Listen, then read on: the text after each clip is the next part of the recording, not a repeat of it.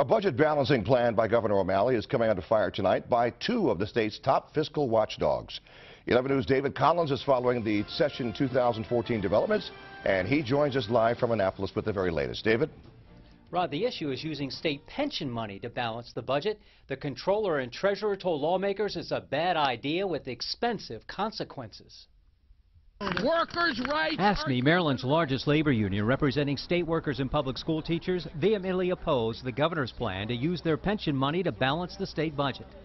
The governor wants to permanently cut $100 million from extra payments into the pension system. It's necessary to ensure that the fiscal year 15 budget is balanced and that we resolve our structural budget gap in the years ahead.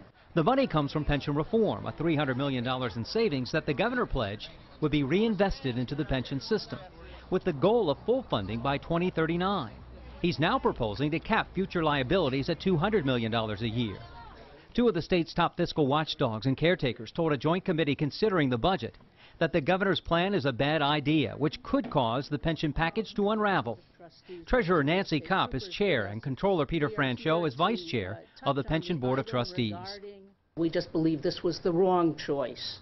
Please, I beg you, do not remove that from the pension system. State workers made sacrifices in the pension reform plan.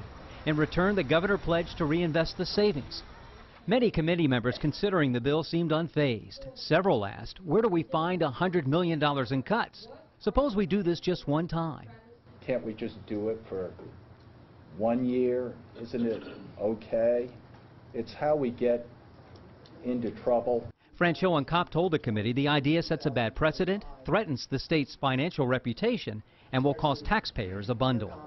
Over uh, the period of time to reach full funding, it costs about $1.75 billion more to the employer, the taxpayer.